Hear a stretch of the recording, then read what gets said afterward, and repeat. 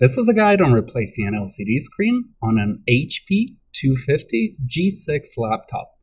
For the replacement process, we'll need the following tools, a Phillips screwdriver and a plastic pick. To begin, shut down the laptop and disconnect the power cord. Flip the laptop over and remove the battery. Now we can remove the bezel. Start from the left side, gently pulling the inner edge of the bezel away from the glass. Once the edge edges unsnap, go around the perimeter and snapping the tabs at the top, right side, and the bottom. Put the bezel aside. Using a Phillips screwdriver, remove two screws holding the LCD panel at the bottom. The LCD's two top brackets are located under the mounting rails. Remove two screws holding the LCD and the mounting rail at the top right corner. Then remove two screws holding the LCD top left corner.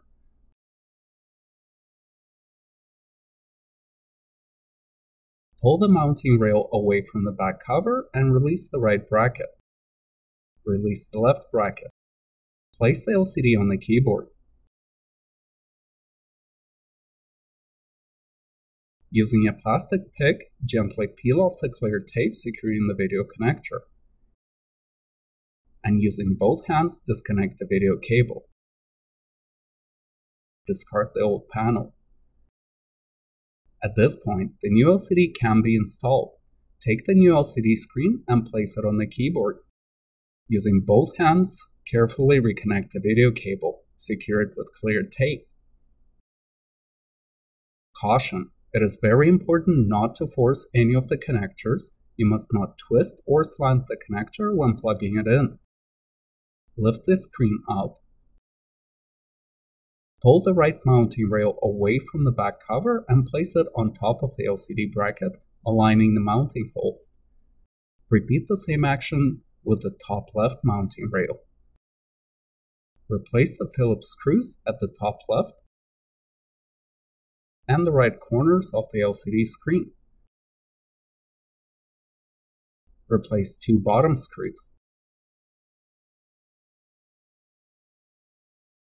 Now we can test the screen. Reconnect the power cord and turn the laptop on. If the startup graphics appear, the screen is working and we can finish the installation process. Remove the protective film. Start replacing the bezel. Start at the bottom, press firmly snapping the tabs back in place, then move along the perimeter.